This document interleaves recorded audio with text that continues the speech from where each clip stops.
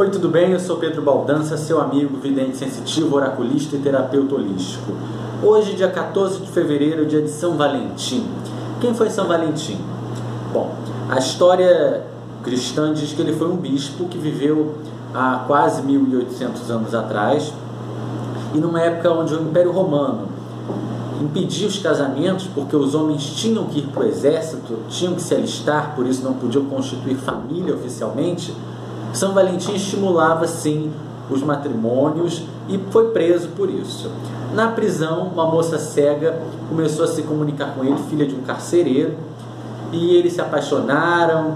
Enfim, teve toda uma história de amor. Depois ele conseguiu, por um milagre, curar a cegueira dessa, dessa, dessa dama, né, dessa senhorita, e acabou ficando com ela. Depois ele foi morto pelo Império Romano porque estava atrapalhando demais os planos do imperador. Né? Isso é a história que conta.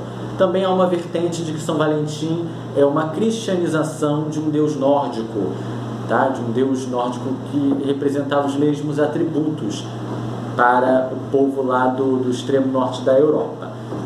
Mas o que interessa você saber é que no mundo todo, principalmente no hemisfério norte, mas a Austrália também comemora, comemora a Austrália no hemisfério sul.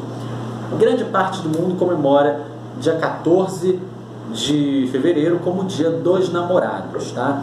Por conta de São Valentim, por isso Valentine's Day, né, que eles chamam lá fora. No Brasil é em junho por uma questão comercial e também um pouco da cultura portuguesa do Santo Antônio, enfim, mas esse é outro assunto. A questão é que hoje no mundo todo está pairando a energia do amor. Tá? Esse mês é um mês, principalmente essas duas semanas agora, tem uma energia muito forte de amor por conta do São Valentim e, entre outras coisas. E você vai poder sim usar essa energia a teu favor. São Valentim é o padroeiro dos namorados, padroeiro do amor. Eu vou te ensinar você fazer algumas coisinhas para ter a ajuda dele. Primeira coisa, você quer um amor novo, tá sozinho, tá encalhado, tá encalhada, tá carente, tá querendo alguém, um relacionamento sério com alguém. O que, que você vai fazer? Você vai pegar é, uma vela branca, um pires branco, tá? Ou castiçal, tanto faz alguma coisa que você vai colocar essa, essa vela branca. Vela de quê? De palito, sete horas, tanto faz. Uma vela branca. Você vai pegar um papel, um papelzinho, escrever a lápis teu nome todo. Escreveu a lápis teu nome todo, você bota um pouquinho de canela em pó nesse papel, esfrega assim, bota um pouquinho. Vai botar esse papel debaixo da vela, de onde ela está, né, do pires ou do castiçal.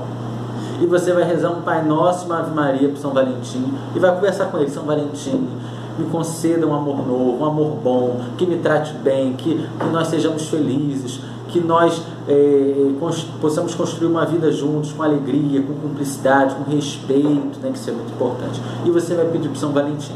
A vela acabou de queimar, o que, que você vai fazer? Você vai, os restos da vela e o papelzinho você vai botar na natureza, num jardim bonito, tá bom? Isso é uma simpatia bem simples. Ah, Pedro, mas eu, eu já tenho um amor, mas eu me desentendi com esse amor. O que, que eu faço? Como que eu vou fazer? O que, que o São Valentim vai me ajudar? Você vai fazer o mesmo procedimento. Só que ao invés de você fazer só o seu nome todo, você vai colocar um outro papel com o nome todo da pessoa, tá? do desentendimento, que você está afastado, outra vela e vai fazer a mesma coisa, canela, e vai rezar o Pai Nosso, uma Ave Maria, e vai pedir para São Valentim. Fez isso? Outra coisa bem legal de fazer é o banho do São Valentim para ele trazer a energia do amor para a tua vida. O que, que você vai fazer? Você vai pegar uma bacia com água, vai botar um pouco de açúcar, um pouco de canela em pó, vai botar pétalas de uma rosa cor-de-rosa, pétalas de uma rosa vermelha, tá? E também pétalas de uma rosa branca. Você vai botar tudo isso ali, vai botar 14 cravos da Índia, vai botar um pouquinho assim de mel, tipo um cálicezinho, pode ser três colheres de sopa de mel, tá? Você vai botar tudo isso ali e você vai misturar, vai fazer. Eu não digo nem que é macerar, você vai misturar um pouquinho com a sua mão, botar a, tua, a energia da tua mão ali e vai pedir São Valentim me ajuda, que eu tenha um relacionamento bom para mim, um relacionamento próspero, que haja respeito, que a, a rosa é, branca traga a tranquilidade para mim, para o meu amor, que a rosa cor-de-rosa traga cumplicidade, traga a autoestima para nós dois, o respeito, traga a união, que a rosa vermelha traga a intensidade da paixão, traga o fogo, traga é, a vivência positiva e vai pedindo ali, vai pedindo a partir da, das propriedades de cada elemento. Fez isso, você vai coar esse banho, né? E você vai separar esse banho, vai tomar seu banho higiênico normal. Tomou banho higiênico normal, tem que ser hoje ou sexta-feira de lua crescente ou cheia. Você vai passar, tomou banho higiênico, você vai passar esse banho, jogar do pescoço para baixo, tá? Como o banho é um pouco melado, eu não aconselho você ficar muitas horas com ele se você não aguentar. Vê quanto tempo você consegue. Fica 5 minutos, 30 minutos, o que você conseguir. Se você conseguir não se sentir incomodado, pode, pode dormir com esse banho sim, tá?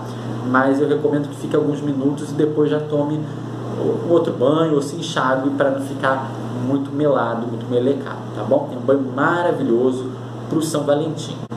Gostou do vídeo? Curte, comenta, compartilha. Você quer mais conteúdo sobre amor, quer mais simpatias, quer mais receitinhas sobre amor? Você bota nos comentários, Pedro, bota mais receitas, bota mais simpatias para a parte amorosa. Tô precisando, você me avisa aí nos comentários, tá bom? Se inscreva no canal, não esqueça de ativar as notificações.